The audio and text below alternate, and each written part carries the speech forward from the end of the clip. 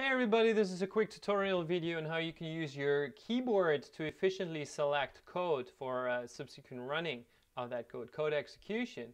So uh, what you frequently encounter is uh, probably um, that you um, have written a, a, few lines of code and you want to select those, uh, for instance, only select that first line. So what I do is I use the shift key and I can use these arrows uh, to the right to select that text, which is very slow.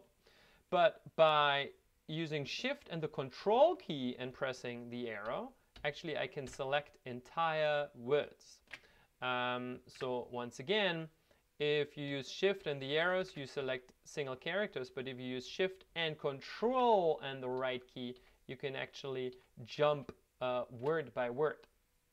In the software package that I use, HeidiSQL, you can now use the control keys, control F9 to uh, execute that query.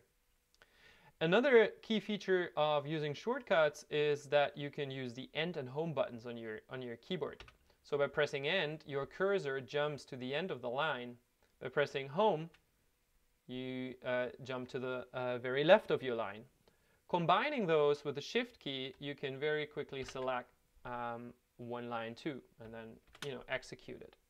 You can also press Shift. Um, note that the cursor position here is at the end of the line, and pressing the arrow key to go down an entire line. And then again, you can press Control F9.